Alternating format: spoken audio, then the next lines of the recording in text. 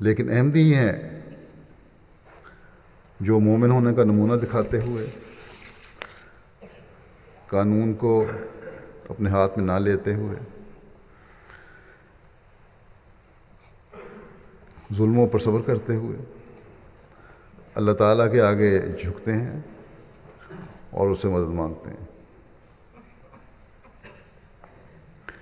بس یہ ایک بہت بڑا فرق ہے احمدی مسلمانوں میں۔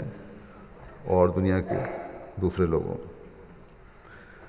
ہم وہ لوگ ہیں اور ہمیں ہونا چاہیے ایسا۔ کیونکہ ہم نے وسیم محدود علیہ السلام کو ماننا ہے۔